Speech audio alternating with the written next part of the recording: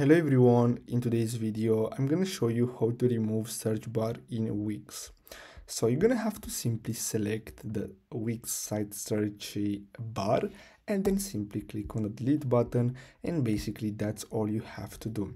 Now you're gonna have to make sure that uh, this is deleted from all your pages. So as you can see it is deleted from all pages because usually it's uh, on the header side and basically the header is the same for all uh, uh, all pages. So guys i really hope you found this video helpful. Don't forget to like and subscribe. Thanks for watching